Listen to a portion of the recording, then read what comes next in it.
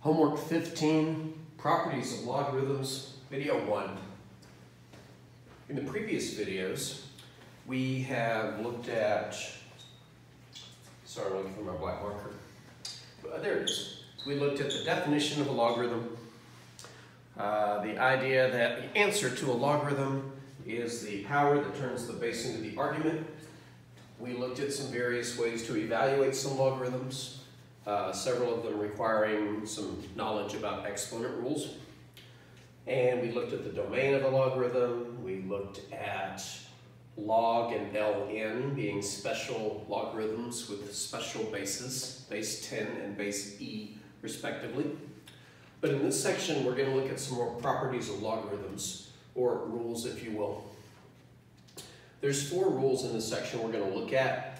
But we're going to look at the first three collectively, and then we'll look at the fourth one on its own once we get past everything we need to do with these three.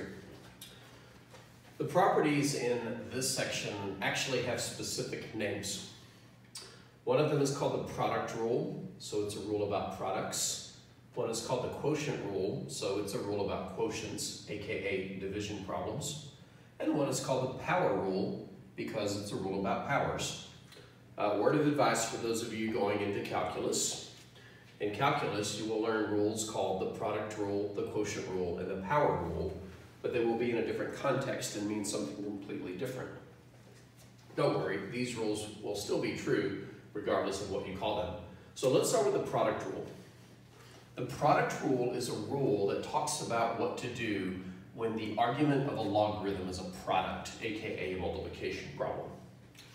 If you have a logarithm, any base of a product, then you can write it as the sum of two logarithms by giving each factor of the product its own logarithm.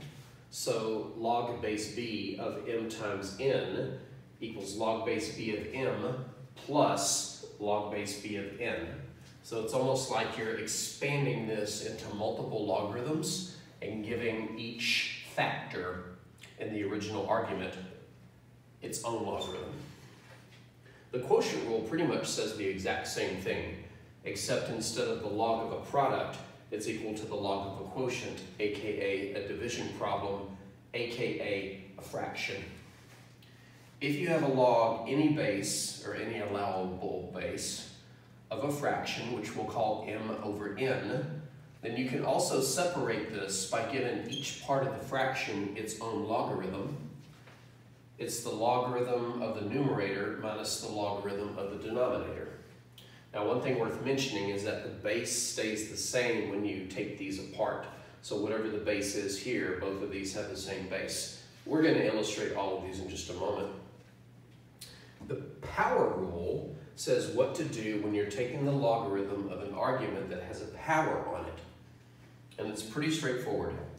If you're taking a logarithm, base b, of some argument, which I'm calling m, but that argument has a power on it, which I'm calling p, you can remove the power from the argument and put it in front of the log as a factor in a multiplication problem. So the log base b of m to the p power equals p times log base b of. It's worth mentioning that all of these rules also work in reverse. For example, the product rule in reverse says if you are adding two logarithms with the same base, you can condense them into one logarithm by multiplying their arguments. If you find the difference of two logarithms with the same base, you can condense it into one logarithm by putting the first argument on top of the second argument. And if you have a logarithm with a coefficient in front, you can move that coefficient inside the logarithm as a power on the argument. But let's take a look at some real short examples. And then in the next few videos, we'll look at some more in-depth examples. For example, let's say we have log base 2 of x times y. This is the log of a product. All the product rule says is if you have a log of a product, you can split it into two logs, each with the same base, or rather I should say the sum of two logs, each with the same base, and give each half of the multiplication problem its own logarithm. That's all. Same thing with the quotient rule.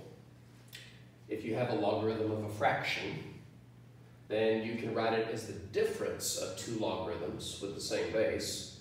So log base 3 on both of these. Where the numerator goes in the first log, or specifically the positive log, and the denominator goes in the second log, or specifically the negative log.